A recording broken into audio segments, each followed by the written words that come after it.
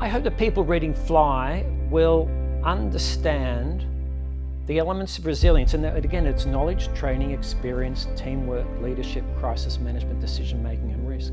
These are all separate fields that we need to master if we totally want to be in control of our destiny. And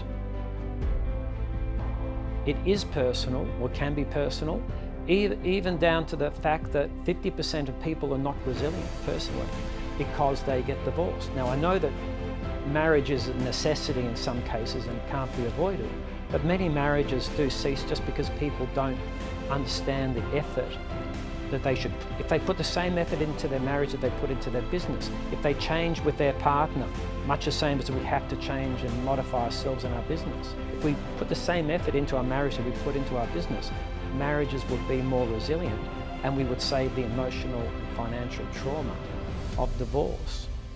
So the lessons of resilience can apply to our children. How do we expose them? We should expose them to risk. We should teach them how to fail well.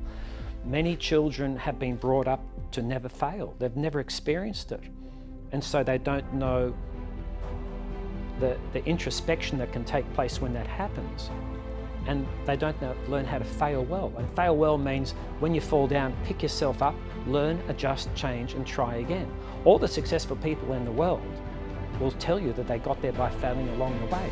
Yet we're bringing up children in many areas where we tell them that failure doesn't exist.